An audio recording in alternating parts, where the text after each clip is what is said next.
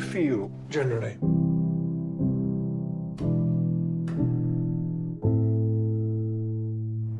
I do feel a bit numb, I suppose. And you do have people you can talk to, friends. Why don't you pop me into the office for a quick drink? Stop. Why? Who's this hurting? Well, your wife, for one.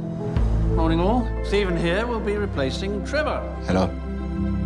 This whole place is for people who want to escape. People who don't belong anywhere else. It really was beautiful. It still is. Where are you from? Does it happen a lot? Well, yeah. It's everywhere, isn't it? No one's going to give you the life you want. But you've got a problem, you know that? You have to go out and get it.